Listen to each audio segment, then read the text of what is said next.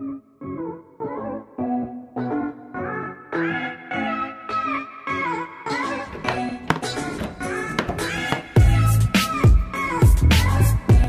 from my understanding, you can rest your hood on top of here, whether you should do that or not. I think it's okay.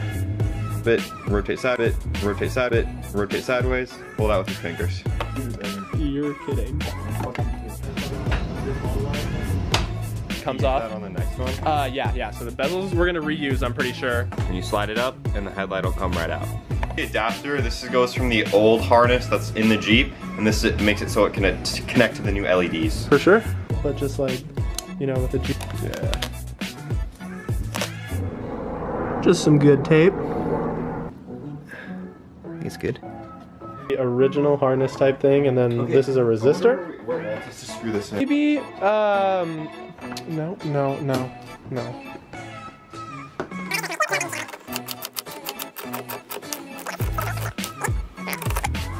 Good. Grounded. On super easy. Took off the grill. We have all the components for the grill and whatnot. Super easy hooking up the headlight itself. If you are hooking up just headlights, super easy, nothing to worry about. The only thing is when you start to hook up the halos is when it gets a little bit difficult. Devices, you can pick them up at like O'Reilly's, AutoZone, whatever. You just put one end of the wire in on one side and then you splice the other one in by pushing down on this uh, metal clamp. Going to splice, not the main headlight, anything to do with the main headlight, Yeah, but no. the turn signal. What you want to do is be able to make the halo work with the turn signal. So we're splicing the halo function to the turn signal. All those Jeep Wrangler owners out there, you would grab your turn signal light, The amber. the amber light, yeah, the amber light below that main headlight. And then there's gonna be some wire housing, just kind of take that apart. On the, which cable? It's the uh, third, the outermost cable. So there's ground, then Yeah. there's the actual daytime running light, then there's the turn signal. You want to connect it to the turn signal so that your halos don't turn the uh, amber color all day long. Yeah, okay, so the So- one farthest from the ground, you're Yeah. gonna splice. And on the driver side, the wire color is white and green, but on the passenger side, the wire color is white and pink. Yeah. Okay, so one wire just goes in the outside end, and the other one just slides in like this. Yeah, for sure, we can see it. Yep. Slide it in like that. There. Good. So after you clamp that down, both of those wires should be spliced pretty well. Shouldn't be able to pull one of them apart or anything, just put the top over it. Done.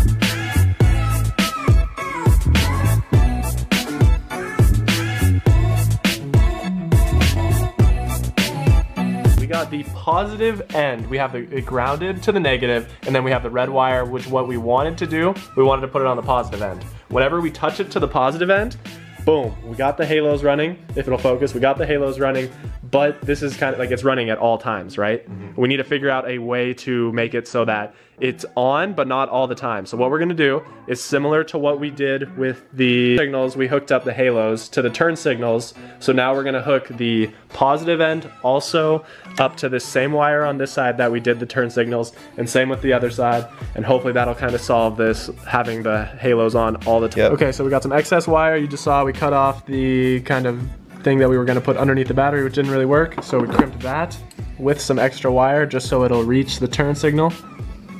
Oh, satisfying. Oh, almost.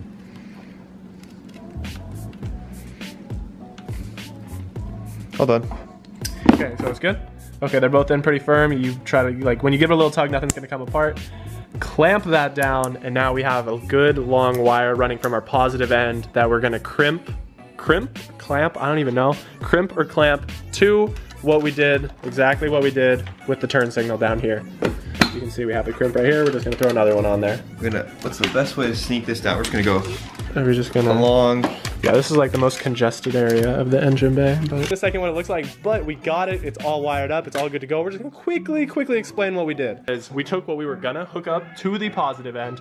We spliced some wire into what was gonna go right here. We ran that wire right into here.